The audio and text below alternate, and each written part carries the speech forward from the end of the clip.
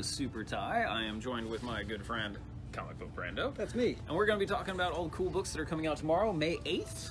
Not all the cool books, but many of them. Yes, there's actually quite a few more that are coming out. Uh, I ju- we just didn't have time to read them all to talk about them all. Yeah, we can only can only do so many. Yeah, exactly.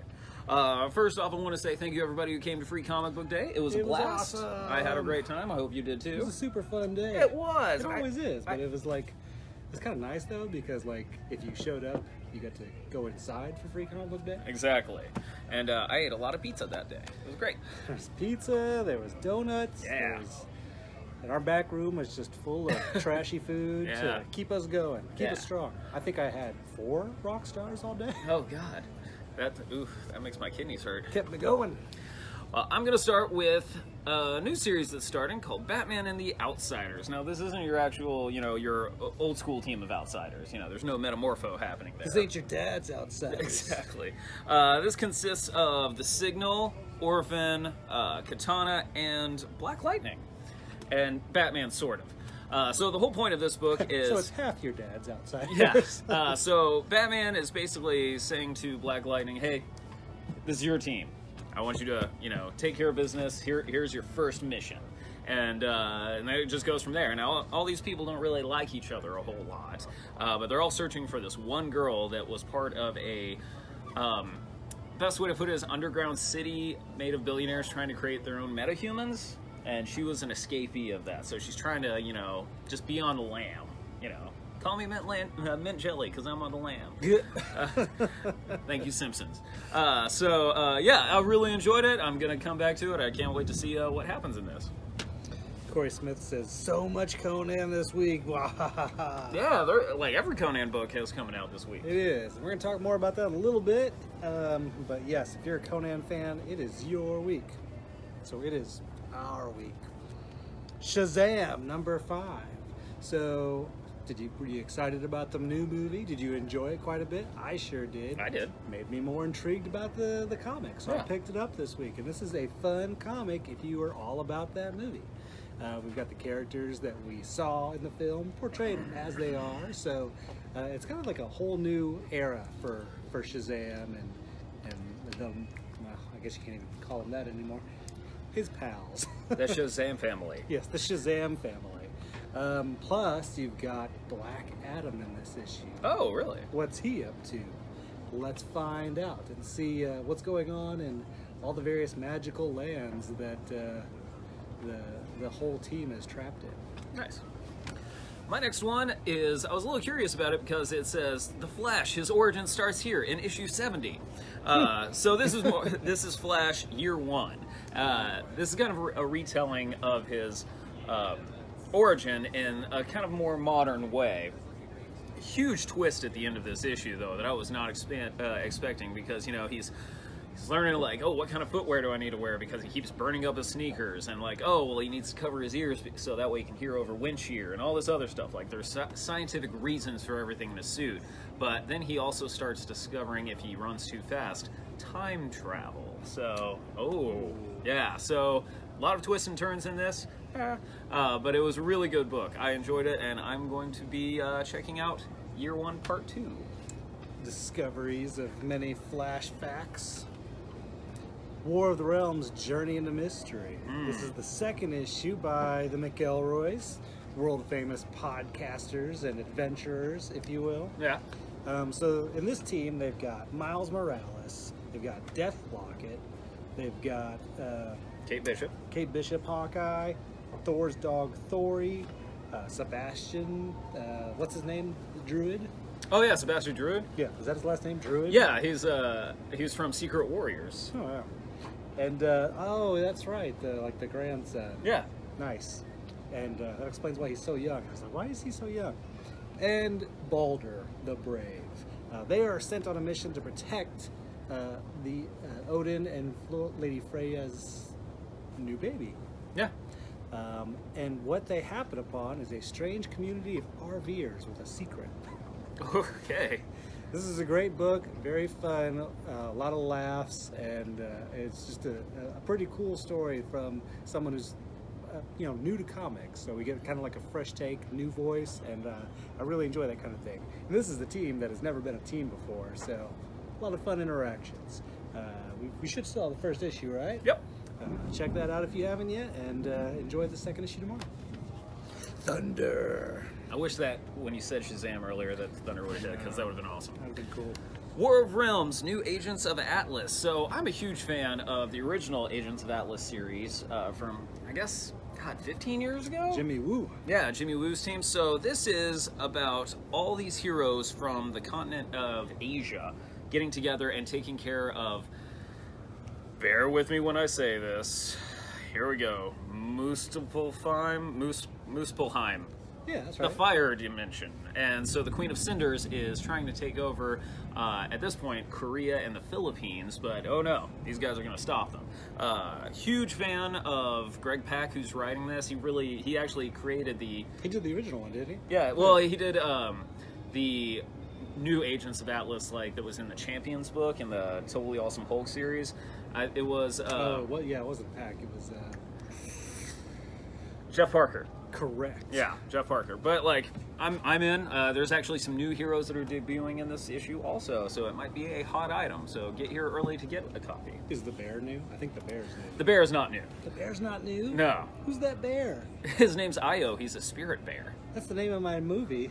Oh, Io. Who's the- that bear? Who's that bear? also starring Madonna from Who's That Girl? Weird. Yeah. yeah. The Batman Who Laughs number five. Check out that cover. Is that not just terrifying? Yeah. We pretty rough. We emulated this cover for our Twitter post about it. It looks bad. It's pretty. It's uh, it's my new author photo. Yeah. Uh, yes, so Batman is sort of being corrupted, if you will. He's got some toxins running through his veins. Uh, meanwhile, the Batman Who Laughs has a whole plan that's going to involve the Court of Owls. Pretty intense stuff. Um, don't want to give away any, any spoils, but it's like very dark story uh, that like has to do with Gotham's past and its future. What what's going to happen and what's it going to mean for uh, the the whole city if Jim Gordon and Batman activate Last Laugh. Oh. My next one is Invaders number five by our good friend Chip Zdarsky. Yeah, good friend. So this uh, book, it, it says so on the title, World War Namor. So Namor is tired of it. He's been a real Namor about He's been a thing. really big Namor about everything in this whole series. So uh, he has a plan to defend Atlantis from America, but that involves some espionage, some uh, spycraft, and uh, a crap ton of missiles. So uh, basically, everybody who is in the invaders that is still around, they're trying to knock some sense into Namor, but it's just, you know, he's being a Namor about it. So uh, I've been really digging this series a whole lot. It has, you know, the original Human Torch, Jim Hammond in it. It has, um, of course, Winter Soldier and Captain America. But yeah, this one is. Uh, I don't see a happy ending at the end of this series. I'm Pretty curious where they're going to go with it. Yeah, I don't see a happy ending. Also curious about what keeps that shell held up on his. It's an. Audi belly button. gross. Yes. Not gross that Audi belly, but They're, they're kind of little. Yeah. You Audi or any? Oh, I'm an innie, my friend. All right. Conan the Barbarian number six, as prophesied by the Oracle Corey Smith. Cool. Yes. So Conan, uh, the best thing about a Conan story is they don't happen in the order of his life. In the original novels and in like the best of the comics, they jump around throughout his career. Uh, this time we've got Conan uh, helping out the people of uh, Tura, Turin, and uh, they're not really having it. They're not really good at listening to this this uh, large Cimmerian barbarian. They're being very Namor about it. They're being very Namor about it. Um, but this also ties in. We get like, previous issues. We get a flash of um, what this is leading to. What um, uh, the combined storyline. You know, we get to hear, see how he's become so powerful. We get to see his his uh, uh, rise to to glory, and what that's going to cost him towards the end of his kingly career. So good. My next one is Captain America by Ta-Nehisi Coates as well as Adam Kubert. So Cap's in a supermax prison because everybody still thinks he's Stevel from Secret Empire, and hey, I didn't come up with it. I know. But uh, unfortunately, this whole prison is run by Baron von Strucker. So, Oh. so it's not a good time for Cap. But he's finding allies and all these other supervillains that are there, like members of the Wrecking Crew, are actually kind of turning around, trying to be good guys and stuff like that. So basically. This is all leading up to a giant prison break, I'm sure of it. Uh, but you know, it's kind of fun seeing Cap, you know, kind of getting in with it with the like you know bad guys, just like hey let, let's let's let's dump this joint, you know, kind of thing. What are the odds of we seeing a, a longest yard situation where they put together a football team? Well, there there is some tackling happening in here, so they're probably getting to it eventually. nice. Yeah. All right. Love that movie, the original. Catwoman number 11. Um, look at that Archer cover. Man, that's a striking cover. He's so good at drawing these characters. James.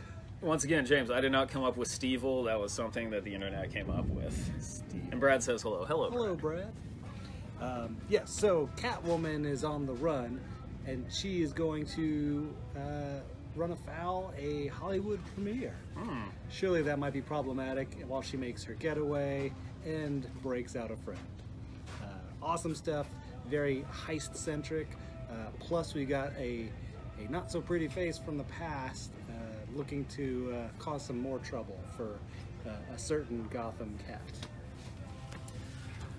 One of my favorite books is actually coming to an end Murder Falcon. So, if you like heavy metal of any sort, then this book is for you. Uh, in case you don't know what's happening in this, uh, every musical instrument has a spirit animal kind of attached to it for, for metal. So, of course, this guitar has Murder Falcon.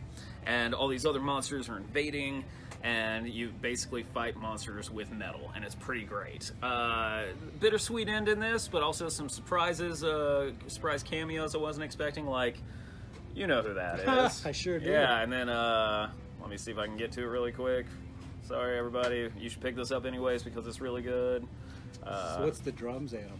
the drums animal is actually a giant um, mastodon, which is pretty cool. But like, yeah, that's the Temple of Metal, and it's you know, Oh, yeah. huh.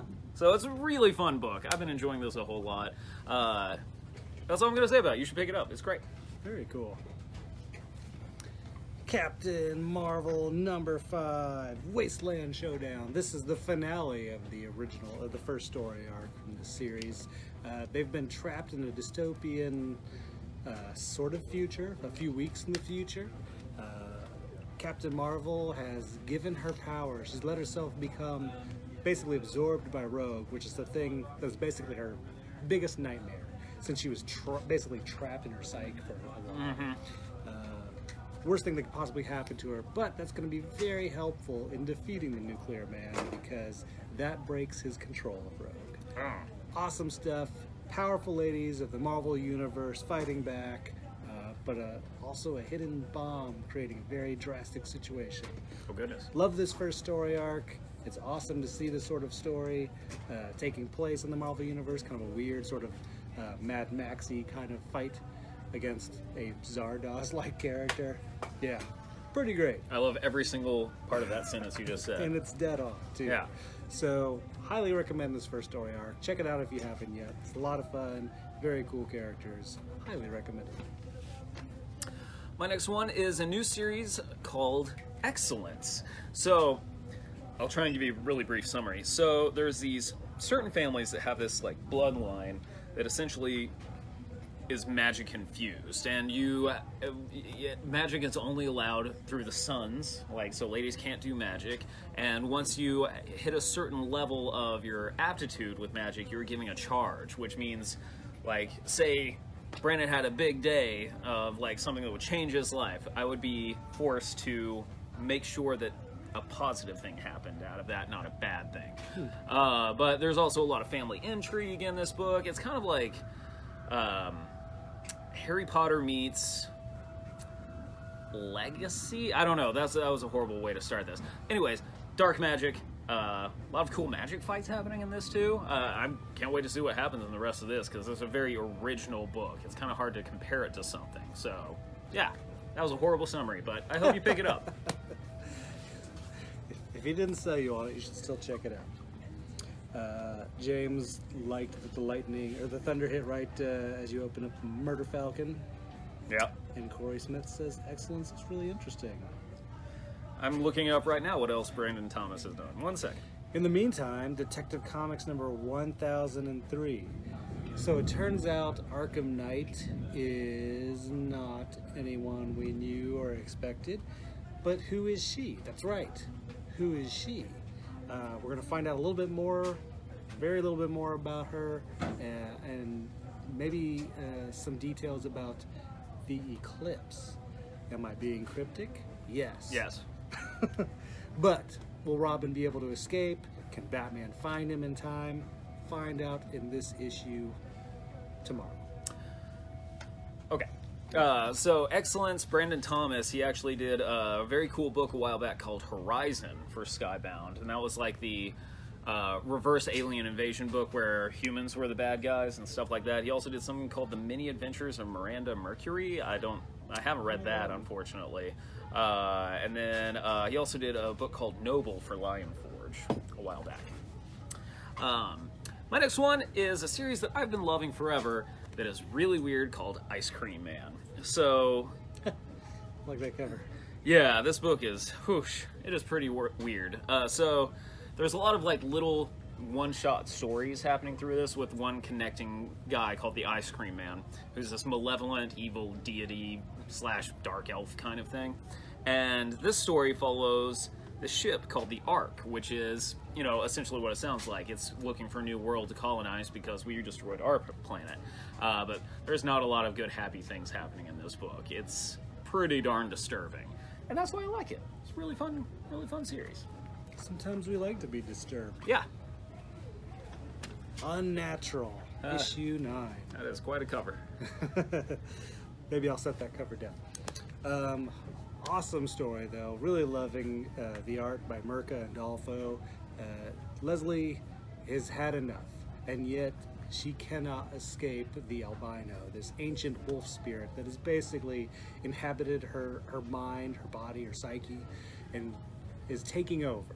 And there's nothing she can do to stop him. Uh, meanwhile, her friends don't know how to how to handle this either. And I say I use the friends loosely because her friends have been murdered, but the people that are with her are trying to get her to a safe place to find out what's going on to stop it from happening, uh, because they know the true danger of the albino. Uh, very awesome, very you know conflicted characters that are just trying to do the right thing. And, and we get a little bit of backstory on Leslie too, a little bit of uh, family history, if you will. Awesome book, highly recommended. Gorgeous artwork, intriguing storytelling. Um, probably my favorite pick of the year. Oh, goodness. I know, right? It Well, is really good. I love it too. At least for a non superhero thing. It's been pretty. I don't know. I'll have a different pick of the year next week, so Yeah. I'm really enjoying it though.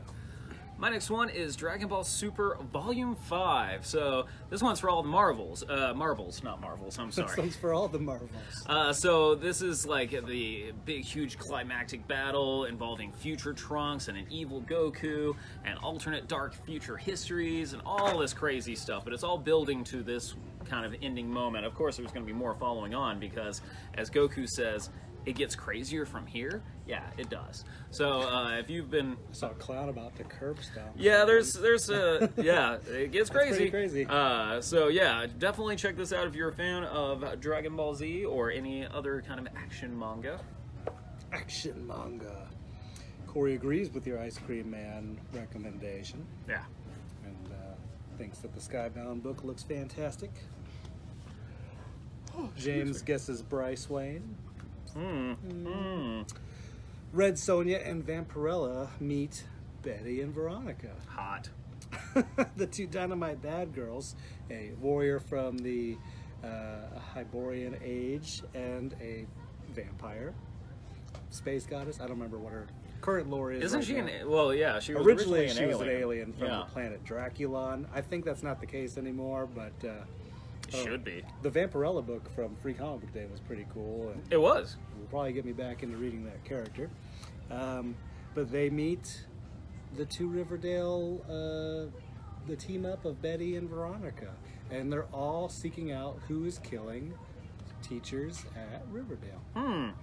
At least one body shows up. I, one of them, at least, is a teacher. I don't know. Um, fun, weird murder mystery, little uh, um, kind of winky at you at times.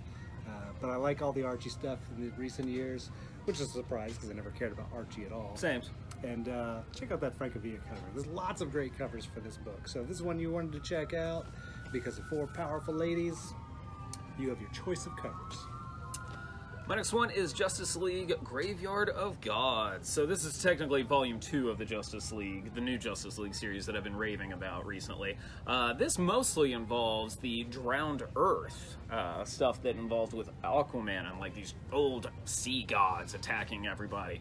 Uh, but in the background, there is also a ton of Legion of Doom stuff happening. So yeah, it's a uh, man, epic. There's a lot happening in that book. A lot happening in this book.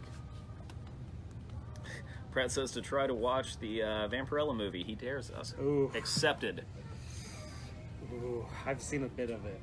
Rough? It's pretty bad. Excellent. It's pretty bad. Um, yeah, how do I get the Vampirella movie? I'd watch it. Yeah.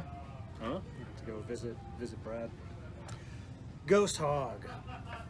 So this is a story about uh, a young hog who is cut down before her time. Oh. Uh, yes, and so there's a though it, looks very, very like a animated kids book kind of style. This is uh, there's a lot of pathos to it, a lot of uh, a little bit of vengeance and anger, um, but it you know it tells a story about like kind of letting go. So there's there's a real deepness to this, despite maybe just looking like a kid's book at first glance. Uh, it actually kind of has the weight of like a, like a martial arts movie. Oh. Yeah. Um, and there was a free comic book day sampler for it, which is why I, I picked it up to begin with. Because I normally, let's be honest, I'm not going to look at this book normally. But I read the free comic book day sampler. I'm like, this is kind of heavy. Yeah. It was actually really cool. Yeah, this is kind of intense. So uh, if that sounds like your kind of thing, there's a nice big volume available tomorrow. My next one is from a series that's been over for a little bit, but it still is one of my favorite ones in the past couple years called The Woods. Uh, if you're, uh, this is the yearbook edition, so this is the very first year of The Woods, so like first 12 issues. Uh, if you're not familiar with this, whew, it was an epic. So basically, the whole premise is these this entire school, including like the buildings, football stadium, everything, bright light flashes, and now they're on an alien planet and they're stuck and nobody's safe. Uh, like in the first issue, like 48th graders get eaten by monsters. Like nobody's safe. And uh, kind of reminiscent of William Golding's Lord of the Flies, but with a little sci-fi bend to it, and uh, like just surprises constantly happening through there. Once again, nobody's safe in this book. But a uh, really fun book. It won the GLAAD Award for Outstanding Comic Book, so this was like, you know, this also had a lot of uh, weight to it of, you know, good cultural positivity. Some representation. Yeah. Pearl Volume 1. Man, does this book kick ass. This is so good. Uh, Bendis doing what Bendis does, dare I say best, and that's his own unique characters in a, in a noir-like setting.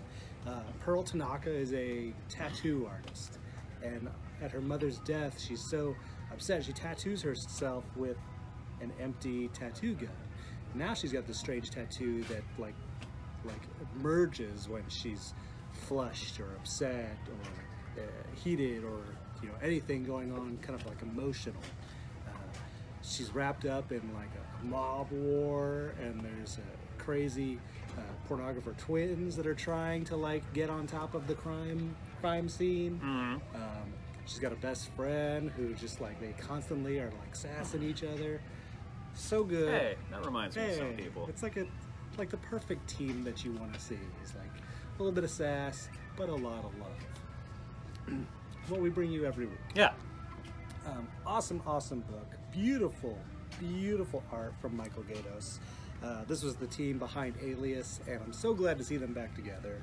And this book is just killer. I love it, and it's so weird and fun and actiony and just cool. So if you want to, like, just the kind of the weirdest wild ride in comics, this is a this is a contender.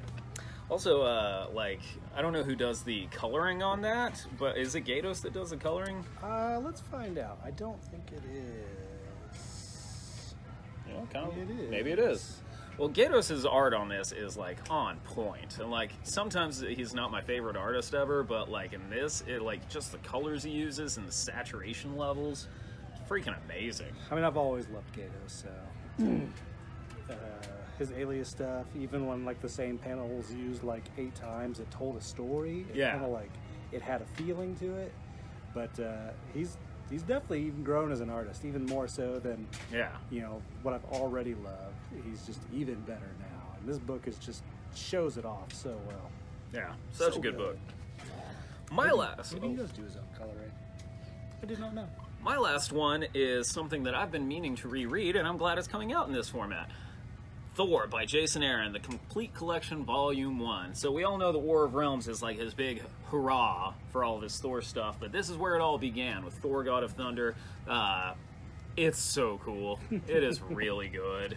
Uh, hang on, Brad. he's I'll, on board. He's I'll address board. this in a second. Uh, but yeah, this is just such a good book, and I, it's hard to describe without just giving away everything.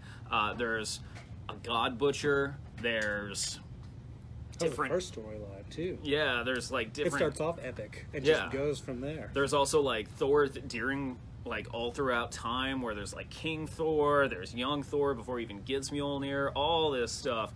Man, whew, it's awesome. And I'm going to be rereading it because I've been needing to for quite some time. If you've never read Thor, it is a perfect, Yeah. perfect jumping on point. This is the thing that will make you a fan of Thor comics, if you're not already. Yeah, it's awesome. So, yeah.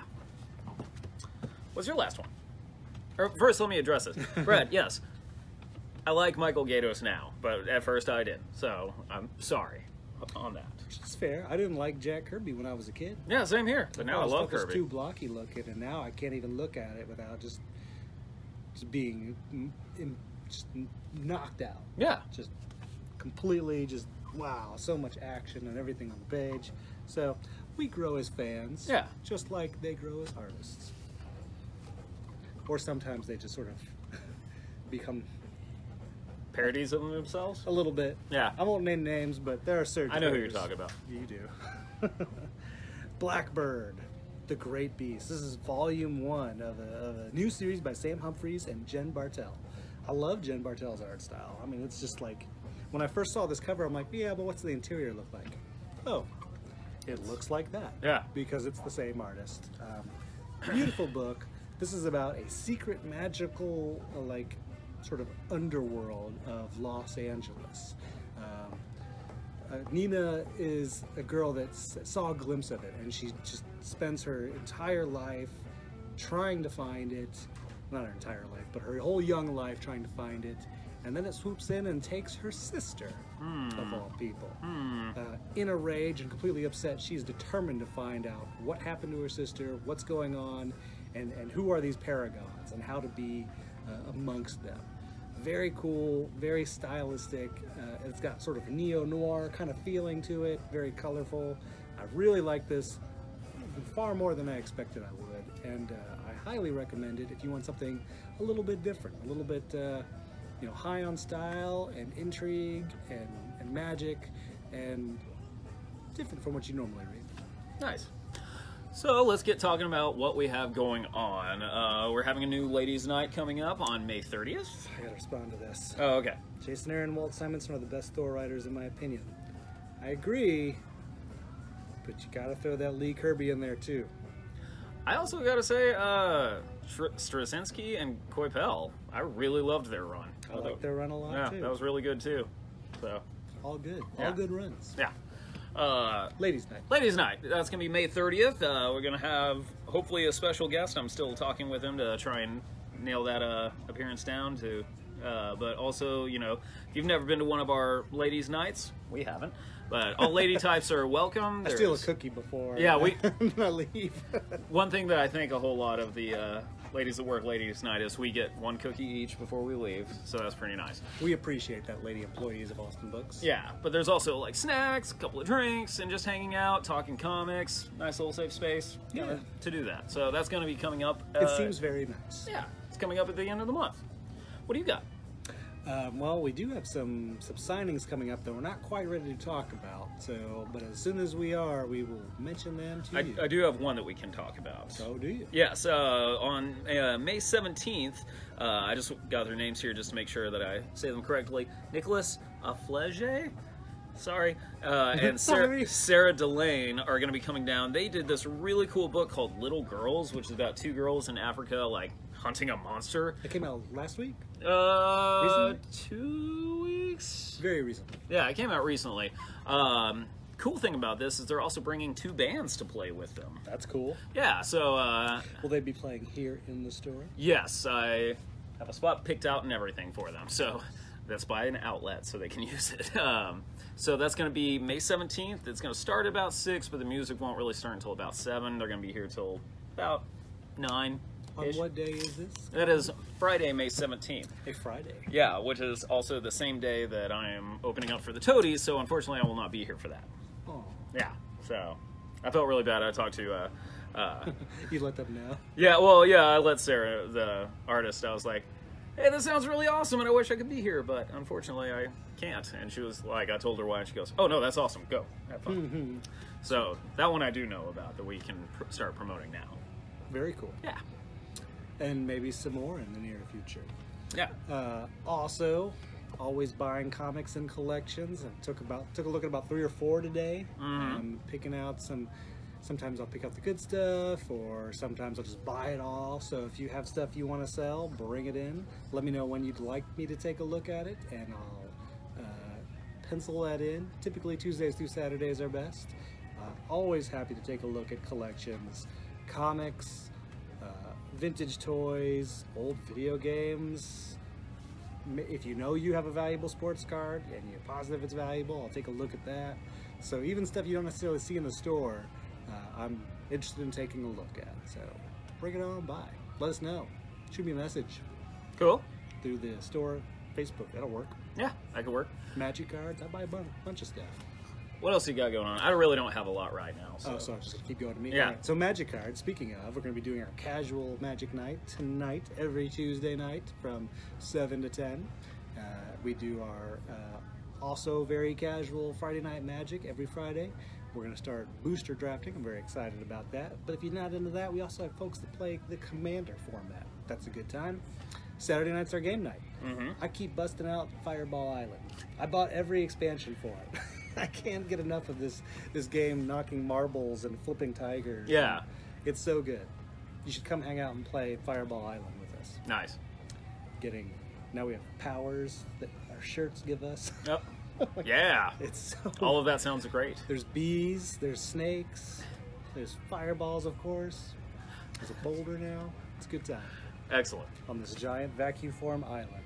That sounds great. Will you incur the wrath of Vul-Kar? Uh, maybe. I mean, I'm feeling feeling pretty saucy, so you never know.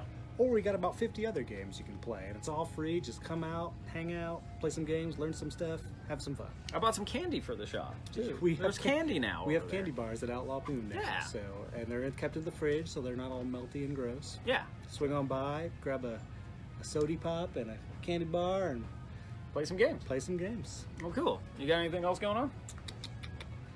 I think that's about it. Cool. Well, uh, you can follow me at Super Ty Denton One. You can follow you at. Comic book Brando. You can follow both of us at Austin Books, and we will see you tomorrow. Hopefully, the rain is going to be letting up by then, because it's, it's pouring pretty hard. Ah!